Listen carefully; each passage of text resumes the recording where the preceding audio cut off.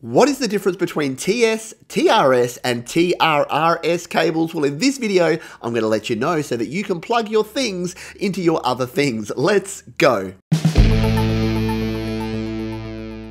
Hi, my name is Pete, and welcome to Studio Live today, where my goal is to help you create, record, and release your best music. And before you can do that, you need to know how to plug in your microphones, your audio interfaces, your mixers, and all of your other devices. So, in this one, we're going to break down the three main types of cables that you're going to come across in home and mobile recording. Let's go. Didn't I already say let's go?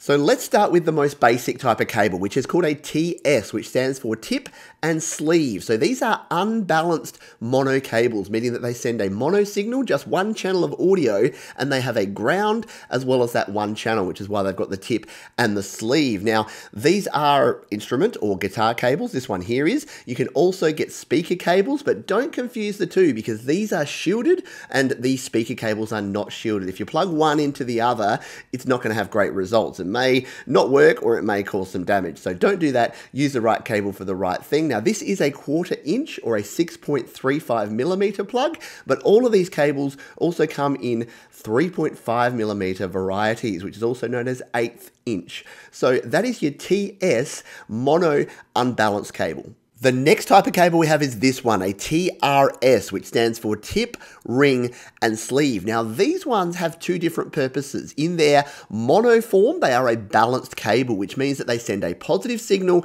and a negative signal, as well as the ground, and that just gives you better audio clarity. There's a much better explanation of balanced versus unbalanced, which perhaps we'll cover in a future video. But if you can use a balanced cable, a TRS cable, then you will want to go for that. But there's another way that we can use a TRS cable. And that is something like this, a headphone adapter. So again, we've got the TRS, tip ring sleeve, but this time it's actually sending stereo audio. So we've got the ground, then we've got the left and the right channel. And these are very common, used for headphones as well as sending audio signals from mixers and interfaces and the like. And there's our 6.35 or quarter inch, and then there is our eighth inch equivalent. So our 3.5 millimeter version is there again, tip, ring, and sleeve. So our TRS cable can be either used for mono balanced or for stereo unbalanced signals. Now to help explain where you would practically use TS versus TRS in the home studio, I've got my Steinberg UR44 interface here.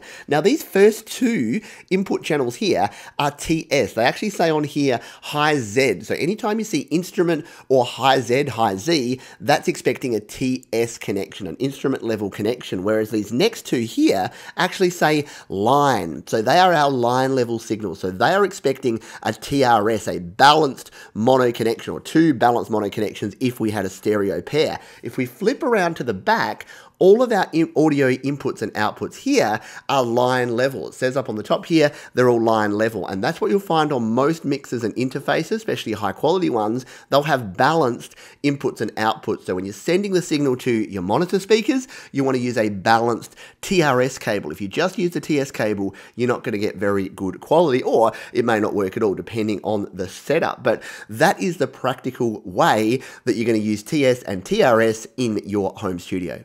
And finally, we have our TRRS. So this stands for tip, ring, ring, sleeve. And yes, we've got four sections. You can only barely see that because this is a little three and a half mil jack. Now, these are used for sending stereo audio, but also a microphone signal the other way. So that's why they got the four, they often called a four pole connector.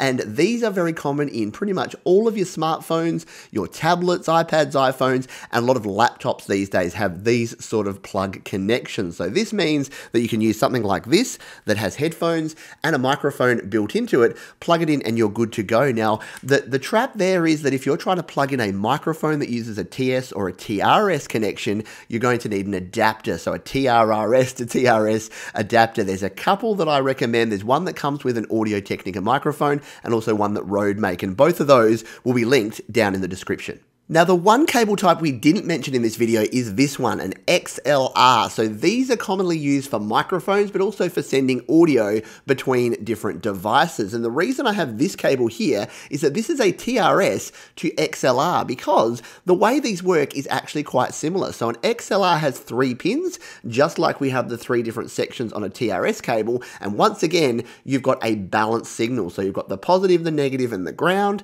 and that is going to create a balanced connection. So your XLR is very similar to your TRS cable, and therefore it can be used for those high quality audio connections. So there you go. I hope this helps simplify these cable types and you now know that TS is your unbalanced mono cable, TRS is your balanced mono or your unbalanced stereo cable, and TRRS is your stereo cable with your microphone. Now there's some links down in the description if you do need to pick up some new cables or those adapters that I talked about before. There's also two videos linked down below if you want to check out some more information. You can subscribe to the channel by clicking on the Studio Live Today icon and I'll see you on the next next video.